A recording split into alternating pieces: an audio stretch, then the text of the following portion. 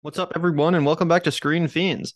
I want to talk a little bit today about James Cameron and his recent comments on Marvel Studios. You guys might remember several years ago, Martin Scorsese, of course, the iconic director of Taxi Driver, Raging Bull, Goodfellas, etc., made some pretty harsh comments about Marvel movies, kind of came out against them and said that they weren't real cinema, uh, equated them more to amusement park rides. And ever since then, it seems like every big iconic director is always asked when making the rounds promoting one of their new films what they think about Marvel movies. And the latest director to be asked this question is James Cameron, who, of course, is out here promoting his new sequel to Avatar, The Way of the Water, which comes out in December.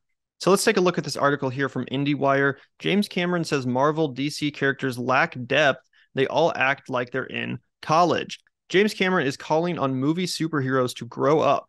The Avatar Way of Water director dissed Marvel and DC superheroes for being two dimensional characters that lack any real world motivations or deeper emotions. Aside from seemingly eternal young and Spider Man, minus the Sam Raimi trilogy, the Marvel heroes act like they're in college, Cameron said. When I look at these big, spectacular films, I'm looking at you, Marvel and DC, it doesn't matter how old the characters are. They all act like they're in college. They have relationships, but they really don't, Cameron told the New York Times. They never hang up their spurs because of their kids. The things that really ground us and give us power, love, and a purpose, those characters don't experience it. And I think that's not the way to make movies. Avatar The Way of Water will be released 13 years after the original record breaking blockbuster Avatar that followed Jake exploring the Na'vi culture and falling in love with local Neytiri. The sequel picks up with Jake and Neytiri being parents to three children, as well as a fourth adoptive teen daughter played by Sigourney Weaver. The newfound responsibilities for both parent characters play into their decision making, process, and stunts, according to the Oscar winning Cameron. Zoe and Sam now play parents 15 years later, Cameron said. In the first movie, Sam's character leaps off his flying creature and essentially changes the course of history as a result of this crazy, almost suicidal leap of faith. And Zoe's character leaps off a limb and assumes there's going to be some big leaves down there that can cushion her fall. But when you're a parent, you don't think that way. So for me, as a parent of five kids, I'm saying, what happens when those characters mature and realize that they have a responsibility outside their own survival? As actor Worthington noted, Jim wrote this family in a great way, where not only are there stakes of life and death, but the conflicts are quite domestic. You're still having these arguments with kids that you would every day, like pick up your clothes, eat your food, even though the world is at war. So yeah, I definitely have some thoughts on this story. I think that for the most part, James Cameron is pretty on point. I share a lot of his criticisms about Marvel movies and DC movies, at least for the most part. You know, there are exceptions. For example, DC's The Batman, starring Robert Pattinson, I think is a damn near masterpiece. I think it's one of the best comic book movies ever made, at least out of the last 10 years or so. And I don't think that the criticisms he's making of DC and Marvel characters here really apply to a film like that at all. I would say the same thing about about, for example, the Joaquin Phoenix Joker movie, another DC property. But as far as the kind of bigger, larger cinematic universe properties go, and the way that these studios handle their characters and kind of just treat them as these commodities to continue expanding the ever growing cinematic universe of characters. I do agree that sometimes they don't get the treatment they deserve. They don't have the depth they deserve. So while I definitely agree with James Cameron on a lot of his characterization of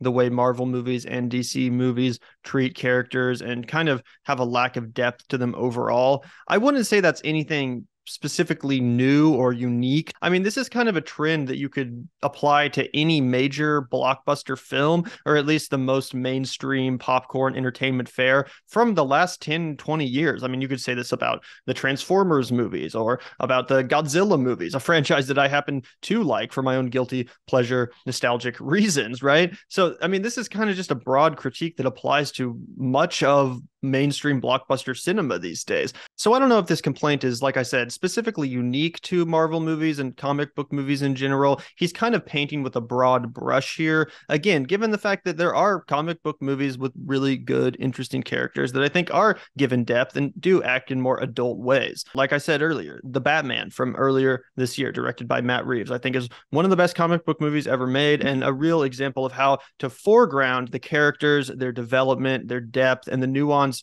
of the human experience within a comic book story. I think Joker from 2019, maybe to a slightly lesser extent, did a similar thing. And obviously, there's a lot of good comic book movies out there as well from even Marvel, including Logan with Hugh Jackman. I thought that was an excellent comic book film that really did take its characters seriously. So I don't think this criticism applies generally to all superhero movies or comic book movies, not even all Marvel or DC movies. I think he's really referring to this big blockbuster trend of just continually cranking out more and more and more characters just for the sake of growing a cinematic universe, just for the sake of leading in to the next film. And again, I share that complaint. I'm no fan of Marvel, to be completely honest. I don't love the way they go about storytelling. Um, I have no problem with people that do enjoy Marvel movies. It's just not really specifically for me. But again, I think this criticism that he's making could really be applied to a lot of mainstream Hollywood fare. It's not really unique to Marvel or DC or anything like that. And also, the other ironic ironic thing about this, to be honest, is that I would say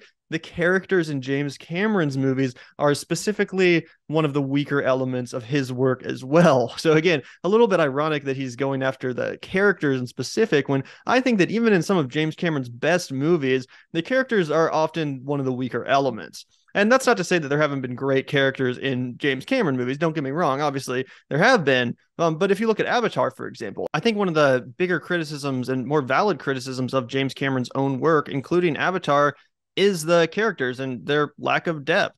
I think the same thing could even be said of Titanic. And of course, Titanic is a classic for a reason. It's a great spectacle movie, just like a lot of the Marvel films that he's referencing. Um, but let's not act like the characters in that film have a ton of depth to them either. I would say that, in fact, the characters in Titanic, the characters in Avatar, the characters in a lot of James Cameron movies are pretty basic, and his films really rely more on the giant spectacle, the innovative special effects, and just the grand vision of it all. Um, the characters, as I said, are one of the weaker elements, in my opinion, in James Cameron movies as well. So I do find that a little bit ironic. But that being said, for the most part, I do agree with what James Cameron is saying here about Marvel movies. As I said, I'm not a huge fan of Marvel myself. I'm not a huge fan of the DCEU either, especially what Zack Snyder did with it. Um, but I have been a fan of some of their other outputs, such as Matt Reeves' Batman movies. I'm looking forward to seeing that universe continually built up. And of course, like I said, there have been some good Marvel movies as well, like Logan. So to be honest, I do have a little bit of mixed feelings about James Cameron's recent comments on the superhero genre, although largely I do agree with what he said. Either way, let me know in the comments below what you guys thought of James Cameron's comments. Again, he's the latest big director to come out here and kind of take a fat crap on Marvel movies, DC movies, superhero films in general, and the way they've kind of homogenized the Hollywood blockbuster landscape, again, which is a criticism that I share. Either way, let me know what you guys think in the comments below. Make sure to hit that like button as well and subscribe to this channel if you're new. Thanks so much for tuning in, Screen Fiends. Catch you next time.